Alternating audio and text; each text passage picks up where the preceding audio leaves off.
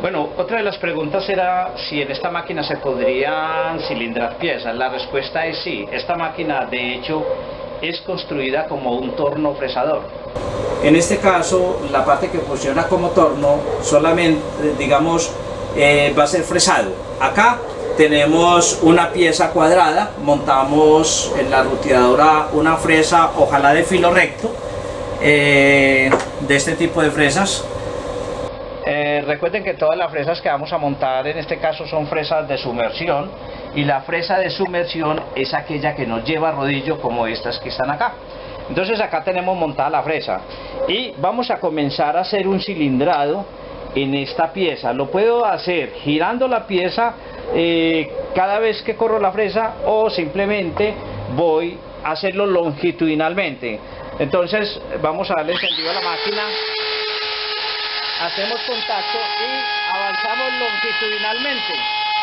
Y observen entonces cómo aquí está la arista, me devuelvo, giro ligeramente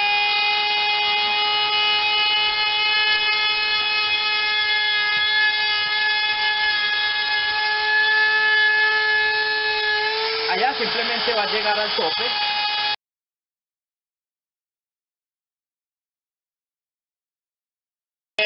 Importante cuando estamos haciendo este fresado lineal no, eh, no está interviniendo el avance con el cable. Por lo tanto, el pasador, este pasador tiene que estar afuera. Él tiene una posición adentro y tiene otra posición aquí afuera. El bloqueo, el bloqueo tiene que estar levantado para poder girar la pieza manualmente.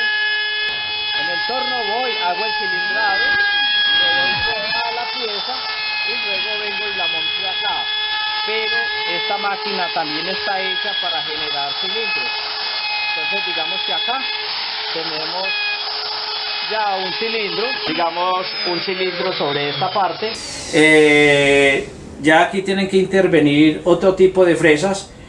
Recuerden para aquellas personas que han comprado esta maquinita, viene con un catálogo y ese catálogo de esa máquina simplemente trae una serie de fresas que son especiales para generar boceles, generar media cañas, generar eh, platos y otras fresas que son especializadas para generar la parte de espirales dependiendo de la presentación final que ustedes quieran en este elemento. Desde Arte en Torno les estaremos dando más. Muchas gracias César.